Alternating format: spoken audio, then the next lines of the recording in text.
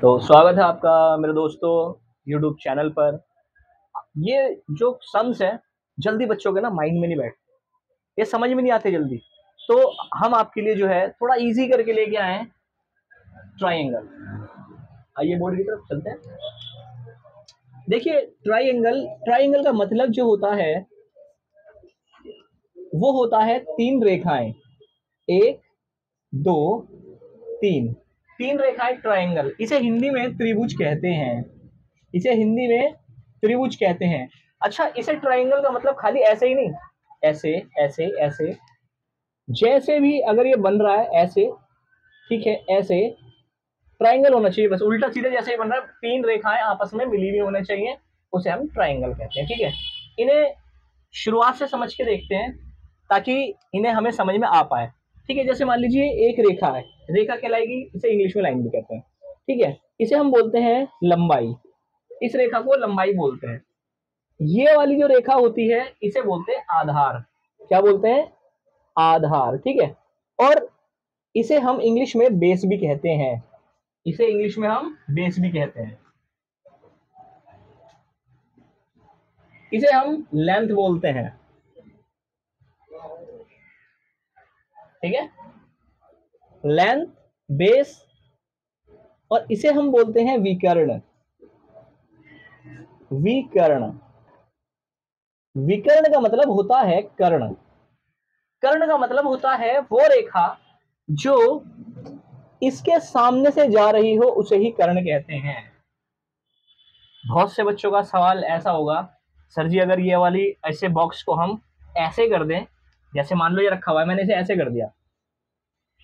इसे ऐसे कर दिया मैंने। इसे ऐसे कर दिया। तो सर जी, अब क्या होगा?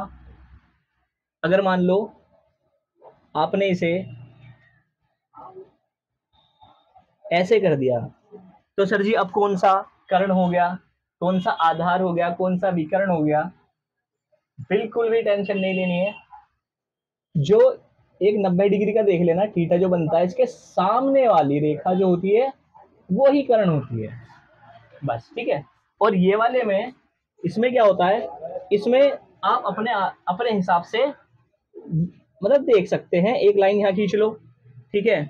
अब इसे लंबाई कह दो, इसे ऐसे करके तो इसे तुम लंबाई भी मान सकते हो और इसे आधार मान लो, ठीक है? तो ये तुम्हें अपने हिसाब से देखना पड़ेगा कि ये ट्राइंगल कैसा है। ठीक है, आगे बढ़ते हैं।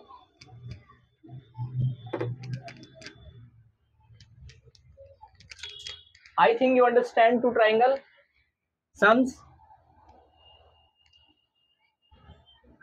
हमने अभी दो तीन चीज़ें सीखी। सबसे पहले लेंथ यानी लंबाई, ठीक है? आधार, यानी चौड़ाई, कर्ण, और इसे विकर्ण बोलते हैं। इसके फॉर्मूले होते हैं कई तरीके से। एक पाइथागोरस का फॉर्मूला होता है इसमें। पाइथागोरस। एक इसमें पाइथागोरस का फॉर्मूला होता है। वो भी इसमें अप्लाई होकर इसकी जो सम्स हैं वो हम निकाल सकते हैं। एक छोटा सा फॉर्मूला लगा के बता देता हूँ मैं किस तरीके से निकलता है वो, ठीक है? चलो, अगर रेडी हो समझने के लिए तो वीडियो में बने रहो हमारे साथ अंडर रूट लंबाई जमा चौड़ाई। ठीक है, ये आधार। ठीक है, और यहाँ पर कर्ण कर दो। कर्ण। अब इसे करना क्या है? इसे हमें हल करना है। अंडर रूट में देखिए क्या है अंडर रूट। अब देखो, लंबाई पे ना हम आपको बताएँगे कि ये लंबाई कहाँ देनी है। जैसे मान लो लंबाई है, अगर स्केल आपको नहीं आता चलाना इंच टेप नहीं आता तो सेंटीमीटर, फुट, मीटर ये सब चीज़ आपको आनी चाहिए, ठीक है? तो जैसे मान लीजिए ये आठ है। आठ छोड़ो। थोड़ी आसान संख्या लेते हैं। जैसे मान लीजिए तीन है, और ये क्या है? चार है। अब क्वेश्चन ये पूछा गया है कि आप ये वाली लाइन बताइए, कर्ण बताइए क्या है? जो चीज़ पूछी जाती है, वो चीज़ बाहर आ जाती है फॉर्मूले में।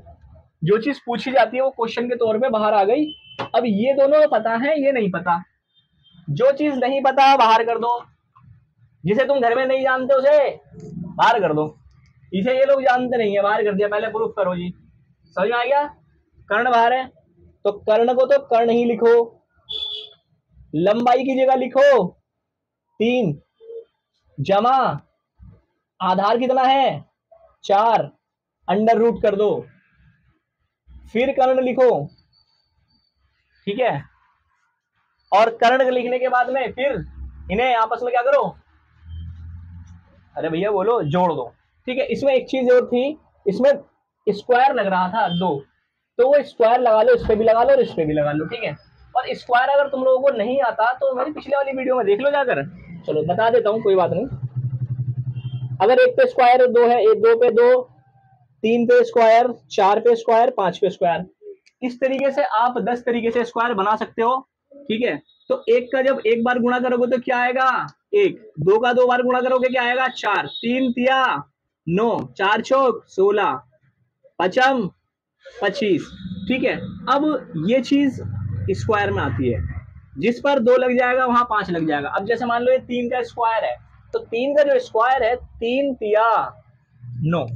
तो हम यहाँ नौ लिख देंगे। अंडर रूट में करा प्लस करा। अब चार पर दो है तो चार चौक। वेरी गुड वेरी गुड सही बताया? सोलह। फिर कर्ण लिख लो, क्योंकि अभी भी हमें नहीं पता कर्ण। इसके बाद में सोलह और नौ, मैथ में कमज़ोर हो पच्चीस पच्चीस। अब पच्चीस का स्क्वायर रूट निकालो कि क्या आएगा कर्ण की जगह पर। अब देखिए, पचम क्या आ गया? पच्चीस। यानी पाँच में भी दो लगा था ना? तो जो ये पच्चीस था तो इसका जो अंडर रूट कटेगा तो यह आ जाएगा पाँच। अंडर रूट कटेगा, पाँच आ जाएगा, ठीक है? और पाँच इस तरीके से आएगा, यहाँ देखिए। अब यहाँ कर्ण का कर्ण रहेगा। बताइए, कर्ण आ गया पाँच। एक तरीका तो ये है। अब ये जो लाइन है, वो आप यहाँ लिख दो। पाँच। अब हमारे सामने लाइन भी आ गई भाई। तीन लंबाई, आधार चार, कर्ण पाँच। ठीक है? एक फॉर्मूला इसी सवाल को हम दूसरे तरीके से समझाएँगे। Sine theta cos theta tan theta cosec और सेक ठीक है, ये छह होते हैं। वैसे होते तीन ही हैं। अलट पलट करते हैं ऐसा, ठीक है? चलो, इसे मिटाते हैं। इसे रफ कर लेते हैं।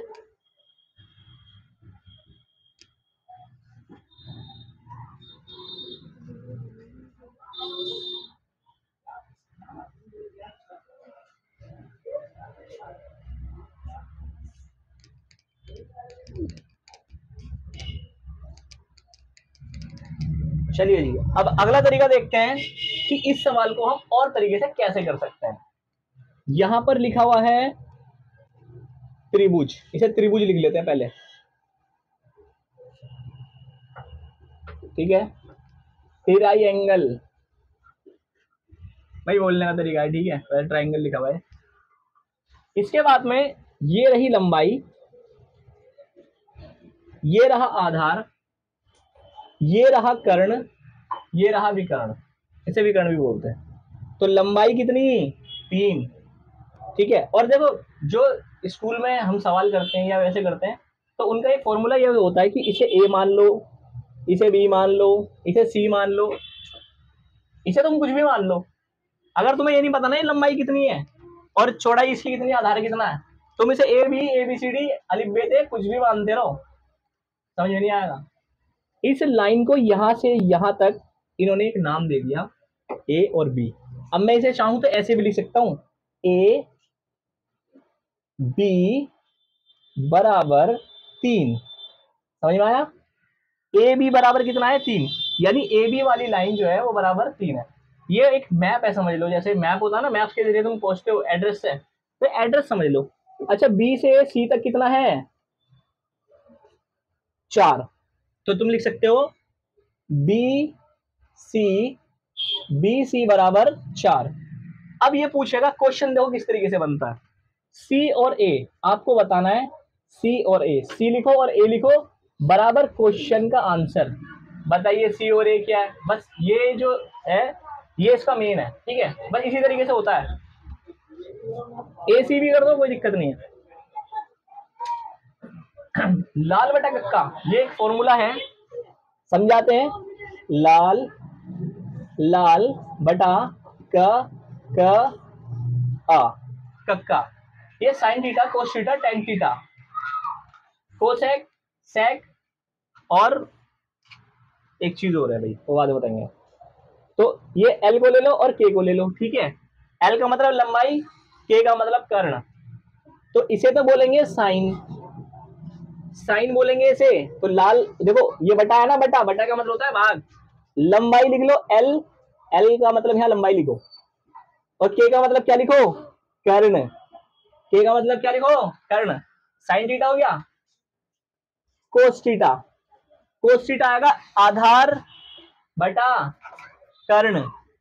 आधार बटा कर्ण।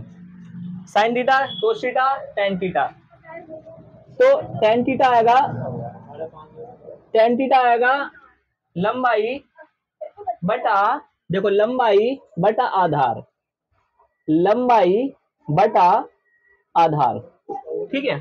बस आपको इसी तरीके से, इसी फॉर्मूलों से इन्हें उल्टा कर देना है। वो उल्टे चलते चले जाएँगे। सपोज़ करो अब इसके बाद साइन टेन कोसेक ठीक है? क्या आएगा? कोसेक। ठीक है, अब देखो कोसेक का क्या होगा? ये वाला ही उल्टा कर दो, ये वाला उल्टा पलट दो। आधार और लंबाई। ठीक है, फिर कोसेक के बाद क्या आएगा? सेक। सेक को, अभी देखो ये वाला है ना, इसे उल्टा पलट दो। कर्ण ऊपर कर दो और आधार नीचे कर दो। फिर कॉट सीओटी कॉट। सबसे ऊपर वाला क्या लिखा लंबाई, कर्ण। कर्ण लंबाई कर दो। कर्ण लंबाई। ठीक है? तो इस तरीके से हमारे छह बन गए। मेन जो होते हैं, वो सिर्फ़ तीन होते हैं। बाकी को हमें पलटना पड़ता है। यू अंडरस्टैंड चलो ये। इसे इसे हल करने की कोशिश करते हैं।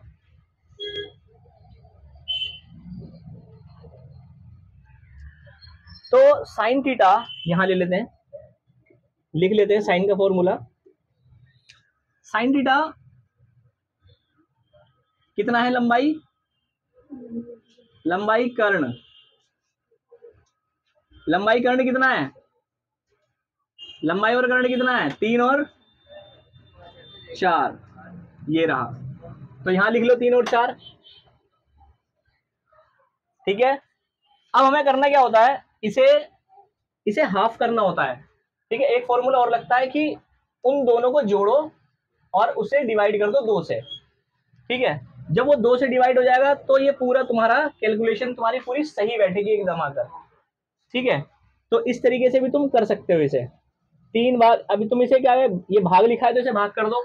ठीक है? या तुम ये निकालो कि कोस जो लिखा हुआ है कोस कोस कितना हो जाएगा आधार कितना है? ठीक है? कर्ण हमने निकाला था कितना आया था कर्ण? पाँच। आया था। ठीक है? तो हम पाँच लिख लेते हैं पहले। वेरी गुड चलो अब आधार अभी एक मिनट रुको जरा, सबर करो। कोस एक लिखा हुआ ना तो पहले है कोस लिखो, और फिर देखो आधार कितना है। आधार, ये रहा आधार। चार। और कर्ण कितना है? पाँच। ऐसे लिखना है ठीक है? टेन टीटा टेन टीटा कितना बनना है? लंबाई कितनी है? तीन। बटा कितना हो गया? आधार कितना है? चार। ठीक है? अब ऐसे ही कोसेक कर लो। कोसेस में क्या है? आधार। आधार कितना है? आधार चार। और लंबाई कितनी है? तीन। सेक में? अरे भैया, बताओ भाई, सेक में? कर्ण कितना है? पाँच। फिर आधार कितना है? चार। और कोट में?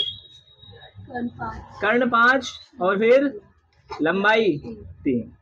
ठीक है? इस तरीके से हम इन सवालों का हल कर सकते हैं। ठीक है? और एक चीज़ और, ये ट्रायंगल कितना भी कैसा हो 180 डिग्री का होता है। एक बार और समझाता हूँ, ठीक है? इससे थोड़ा अलग हट के समझाता हूँ, ताकि समझ में आए। अगर कोई भी चतुर्भुज है जी, वो 360 डिग्री का होता है। अगर कोई भी ट्राइंगल है 360 लिख देता हूँ यहाँ पर अगर कोई भी ट्राइंगल है, वो 180 डिग्री का होता है। अगर कोई भी सीधी स्ट्रेट लाइन हो लाइन हो 180 डिग्री की होती है। अगर कोई भी राउंड फिगर गोला हो 360 डिग्री का होता है। और अगर हमें इसे हल करना है और हमें अंदर का कुछ दे रखा हो, जैसे मान लो यहाँ दे रखा है हमें, यहाँ दे रखा है हमें साठ। अंदर अंदर दे रखा है अंदर अंदर। इसे समझना बहुत ज़रूरी है। मान लो यार साठ दे रखा है। अब हमें देखना है कि नब्बे कौन सा वाला बनना है। ये जो चौरस वाला होता है, ये नब्बे होता है। यानी कि जो बिल्कुल ट्राइंगल बनता है ना ऐसे करके, गुनिया टाइप में तो वो नब्बे डिग्री होता है, ठीक है? थीटा, सामने वाला कर्ण होगा। इसके फॉर्मूले और भी हैं। वो मैं अगली वीडियो में बताऊँगा, क्योंकि आप पहले बेसिक समझ लो। अगर बेसिक कॉन्सेप्ट आपके समझ में आ गया, उसके बाद में आगे की वीडियो जो मैथ की है ना, बहुत बेहतरीन करके समझाऊँगा, आप पेपर में एकदम आगे आगे लिख के आओगे। चलो, आगे बढ़ते हैं। अब ये साठ है, और हमें क्या कंप्लीट करना था जी? 180 कंप्लीट करना था हमें। 180 कंप्लीट करने के लिए साठ कम कर दो इसमें से।